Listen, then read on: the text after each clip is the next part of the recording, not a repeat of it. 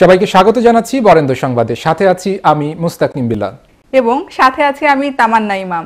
শুরুতেই সংবাদ শিরোনাম। শহীদ বুদ্ধিজীবী সরকারি কলেজে মুক্তিযুদ্ধ গ্যালারির উদ্বোধন করলেন রাশিদ মেয়র রিটন কলেজ শিক্ষার্থী আত্মহত্যার চেষ্টার ঘটনায় মানবাধিকার কমিশনের তদন্ত কমিটি গঠন। রাবি উপোপাচার্যের ফোন আলাপ ফাঁস কত টাকা দেওয়ার জন্য রেডি আছে এতক্ষণ শুনছিলেন সংবাদ শিরোনাম এবার বিস্তারিত। রাজশাহীতে গায়ে কেরোসিন দিয়ে আগুন জেলে কলেজ শিক্ষার্থী লিজা রহমান আত্মহত্যার চেষ্টার ঘটনায় মানবাধিকার কমিশনের একটি তদন্ত কমিটি গঠন করা হয়েছে।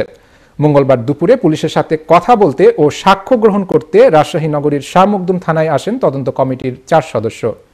পুলিশ কর্মকর্তাদের সাথে বৈঠক শেষে এই কমিটির প্রধান জেলা জজ আল মাহমুদ ফাইজুল কবির জানান, থানার ভারপ্রাপ্ত কর্মকর্তা এবং ভিকটিম সাপোর্ট সেন্টারের যারা ছিলেন সেদিন তাদের সাক্ষ্য গ্রহণ করা হয়েছে। এরপর লিজার কলেজ কর্তৃপক্ষ এবং তার স্বামী শাখাওয়াতের কলেজ, সিটি কলেজ কর্তৃপক্ষের সাথেও কথা বলেন তারা। এই ঘটনায় পুলিশের কোনো গাফলতি রয়েছে কিনা এমন প্রশ্নের জবাবে কমিটির প্রধান জানান, পুলিশ জিডি গ্রহণ করেছে। পারিবারিক বিরোধ থাকায় ওসি তাকে ভিকটিম সাপোর্ট সেন্টারে পাঠান। তবে লিজা সেখানে নাম পরিচয় না বলেই বাইরে গিয়ে টিটিসির সামনে গায়ে আগুন দেয়। এই কমিটি ঘটনা পর্যালোচনা করে সাত কার্যদিবসের মধ্যে প্রতিবেদন দাখিল করবে বলেও জানান তিনি। গত আঠাশ সেপ্টেম্বর রাজশাহী শাহ মুকদুম থানার অদূরে মহিলা টিটিসির মূল ফটকের সামনে নিজের গায়ে কেরোসিন ঢেলে আগুন দেয় লিজা রহমান।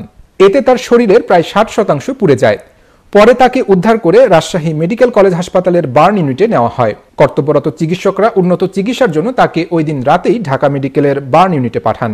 পুলিশ জানায়, পরিবারের অমতে সমবয়সী আরেক শিক্ষার্থীকে বিয়ে এবং এরপর পারিবারিক কলহ সৃষ্টি হলে ওই শিক্ষার্থী তার স্বামী শাখাওয়াত ও তার পরিবারের বিরুদ্ধে অভিযোগ জানাতে শাহমুকদম থানায় আসেন। এর আগে গত উনত্রিশ সেপ্টেম্বর রাজশাহী মেট্রোপলিটন পুলিশের পক্ষ থেকে দুই সদস্যের একটি তদন্ত কমিটিও গঠন করা হয়। রাজশাহী বিশ্ববিদ্যালয়ের উপ উপাচার্য অধ্যাপক চৌধুরী মোহাম্মদ জাকারিয়ার একটি ফোনালাপ ফাঁস হয়েছে। সেই ফোনালাপে চৌধুরী মোহাম্মদ জাকারিয়াকে একটি মেয়ের সঙ্গে টাকার বিষয়ে কথা বলতে শোনা গেছে। মঙ্গলবার পঞ্চান্ন সেকেন্ডের এই ফোনালাপটি ফাঁস হয়েছে। ফোনালাপে উপ উপাচার্য জাকারিয়া মেয়েটিকে সাদিয়া নামে সম্বোধন করেন। সেখানে সাদিয়া কত টাকা দেওয়ার জন্য রেডি আছে বলে জানতে চান উপ উপাচার্য তবে কিসের জন্য টাকা চাওয়া হয়েছে এবং টাকার পরিমাণের ব্যাপারে কোনো কথা হয়নি। জানা গেছে, সাদিয়া বিশ্ববিদ্যালয়ের আইন বিভাগের চতুর্থ বর্ষের ছাত্রী। তার স্বামী নুরুল হুদা ওই বিভাগ থেকেই পড়ালেখা শেষ করেছেন। তিনি ওই বিভাগে শিক্ষক হিসেবে চাকুরি প্রত্যাশী ছিলেন। গত দুহাজার আঠারো সালের মার্চে ওই বিভাগে শিক্ষক নিয়োগের বিজ্ঞপ্তি প্রকাশ হয় এবং নভেম্বরে ভাইবা অনুষ্ঠিত হয়। পাঁচ সদস্য বিশিষ্ট ওই নিয়োগ ভাইবা বোর্ডে সভাপতি ছিলেন বিশ্ববিদ্যালয়ের উপাচার্য অধ্যাপক এম আব্দুস সোবহান।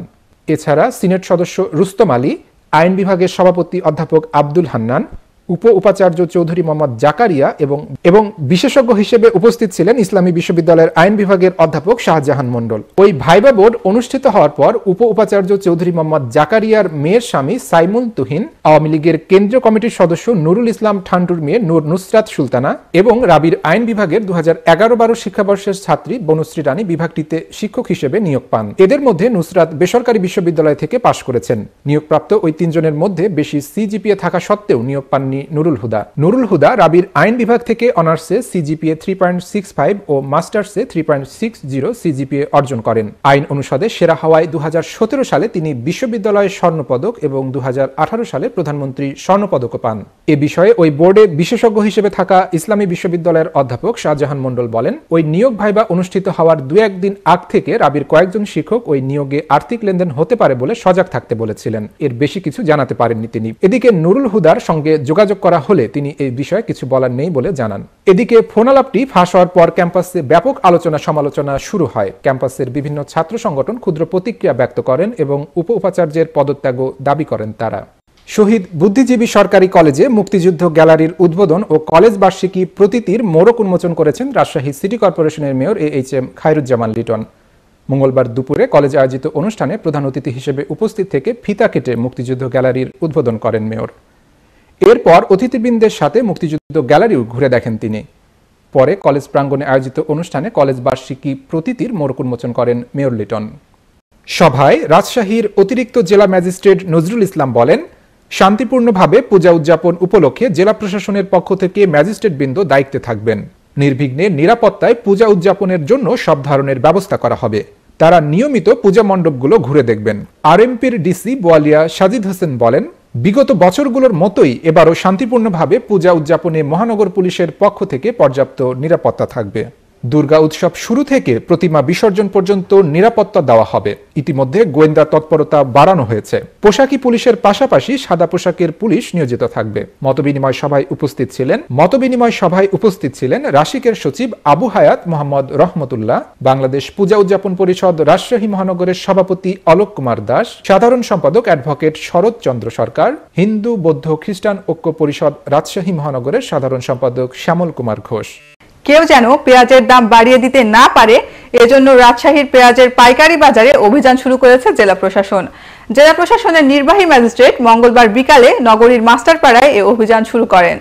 মাস্টারপাড়া পেঁয়াজের গোডাউনে অভিযানকালে ভ্রাম্যমাণ আদালতের নির্বাহী ম্যাজিস্ট্রেট বলেন, রাজশাহীতে বিপুল পরিমাণ পেঁয়াজ মজুদ আছে। কৃত্রিম সংকট তৈরি করে আমদানিকারকরা বাড়তি দামে পেঁয়াজ বিক্রি করছে। এ কারণে পেঁয়াজের দাম বাড়িয়ে দিয়েছেন পাইকারি বিক্রেতারা। তাই পেঁয়াজের দাম স্বাভাবিক রাখতেই রাজশাহীর বাজারের পেঁয়াজের দাম ঠিক করে দিয়েছেন জেলা প্রশাসন। এক কেজি পেঁয়াজ পাইকারি দাম হবে ষাট থেকে পঁয়ষট্টি টাকা এবং খুচরা বিক্রি করতে পারবে পঁয়ষট্টি থেকে সত্তর টাকা। বাজার স্বাভাবিক রাখতেই এই অভিযান বলে জানান তিনি। এছাড়া তিনি আরও জানান, যদি এই মূল্যের বেশিতে কেউ বিক্রি করে, তবে জেলা প্রশাসনকে অভিহিত করলে প্রয়োজনীয় ব্যবস্থা নেওয়া হবে। নাটোরে জাতীয় কৃমি নিয়ন্ত্রণ সপ্তাহের উদ্বোধন করা হয়েছে। মঙ্গলবার বেলা সাড়ে এগারোটার দিকে সদর উপজেলার পাইকের দোল সরকারি প্রাথমিক বিদ্যালয়ে কৃমিনাশক ট্যাবলেট খাইয়ে জাতীয় কৃমি নিয়ন্ত্রণ সপ্তাহের উদ্বোধন করেন ভারপ্রাপ্ত জেলা প্রশাসক মোসাম্মদ শরীফুন্নেসা এ সময় উপস্থিত ছিলেন civil surgeon doctor Azizul Islam, জেলা প্রাথমিক শিক্ষা কর্মকর্তা এরশাদ উদ্দিন আহমেদ, বিদ্যালয়ের প্রধান শিক্ষক শামিমা আফরুদ সহ অন্যান্যরা। অনুষ্ঠানে জানানো হয়, পহেলা অক্টোবর থেকে সাতই নভেম্বর পর্যন্ত জেলার বিভিন্ন প্রাথমিক বিদ্যালয়ের শিক্ষার্থীদের এই কৃমিনাশক ট্যাবলেট খাওয়ানোর কর্মসূচি চলবে। বয়সের সমতার পথযাত্রা এই প্রতিপাদ্য নিয়ে বর্ণাঢ্য শোভাযাত্রা ও আলোচনা সভা সহ নানা কর্মসূচির মধ্য দিয়ে নাটোরে আন্তর্জাতিক প্রবীণ দিবস পালিত হয়েছে।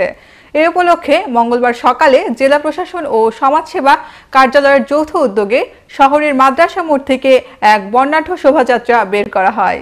ভারপ্রাপ্ত জেলা প্রশাসক শরীফুন্নেসার নেতৃত্বে শোভাযাত্রাটি শহরের প্রধান সড়ক প্রদক্ষিণ করে কালেক্টরেট ভবন চত্বরে গিয়ে শেষ হয়। পরে জেলা প্রশাসকের সম্মেলন কক্ষে এক আলোচনা সভা অনুষ্ঠিত হয়। সভায় উপস্থিত ছিলেন স্থানীয় সরকার বিভাগের উপপরিচালক গোলাম রাব্বি, জেলা পরিষদ চেয়ারম্যান অ্যাডভোকেট সাজেদুর রহমান খান, প্রবীণ হিতৈষী সংঘের সভাপতি অ্যাডভোকেট সাইফুল ইসলাম ও সাধারণ সম্পাদক অ্যাডভোকেট আব্দুল ওয়াহাব সহ অন্যান্যরা। এ ছিল আজকের বরেন্দ্র সংবাদে। সবাইকে সাথে থাকার জন্য ধন্যবাদ।